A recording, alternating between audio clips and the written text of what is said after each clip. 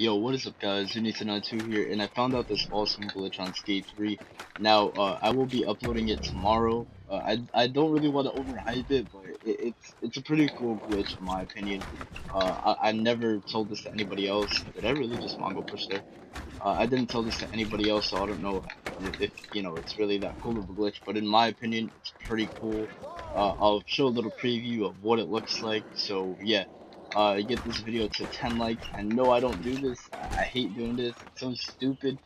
But I just feel like it's a pretty overhyped glitch in my opinion because I I'm the only one who's overhyping it because I'm probably the only one who figured it out.